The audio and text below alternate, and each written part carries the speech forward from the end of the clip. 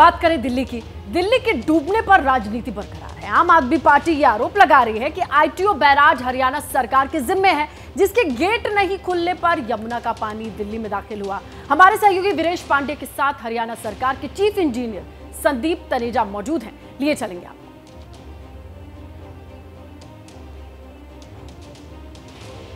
वीरेश, आवाज़ आ रही है आपको? तो देखिए जी यमुना मेरे साथ चीफ इंजीनियर संदीप तनेजा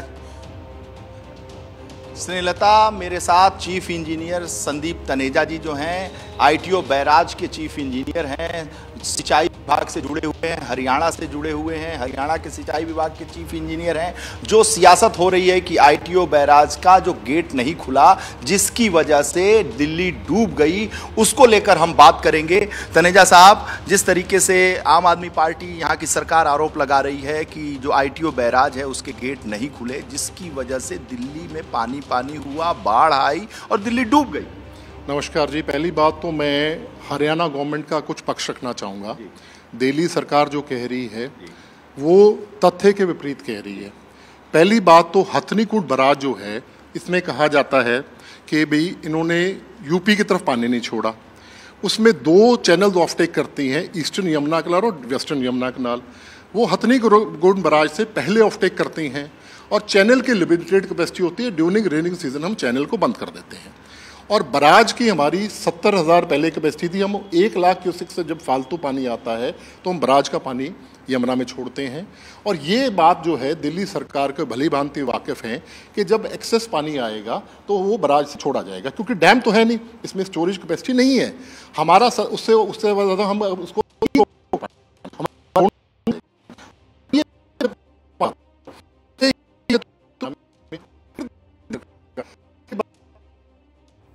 तकनीकी खराबी की वजह से उनकी बात साफ़ नहीं आ पा रही थी। हालाँकि वो अपना जो स्टैंड है, वो बता रहे हैं किस तरीके से क्या टेक्निकलिटीज़ है। इसके बारे में वो जानकारी दे रहे हैं और दिल्ली सरकार के जो तमाम आरोप हैं, उसको खारिज करते हुए वो दिखाई दे रहे थे।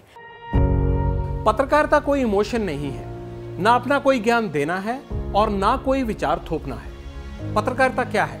पत्रकारिता का मतलब है सही जानकारी इकट्ठा करना और तथ्य बताना। पत्रकारिता आज जितने महत्वपूर्ण दौर में है, शायद पहले नहीं थी। इस दौर से निकलने के लिए सिर्फ़ सच दिखाने की ज़रूरत है। वो सच जो आपके हित को आगे रखे। इसलिए अब रात नौ बजे प्राइम टाइम नहीं होगा। ये आपका टाइम जगविंदर पटियाल के साथ देखिए पब्लिक इंटरेस्ट।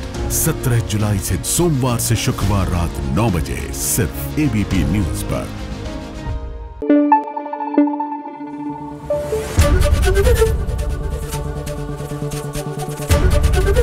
ABP news. आपको रखे आगे।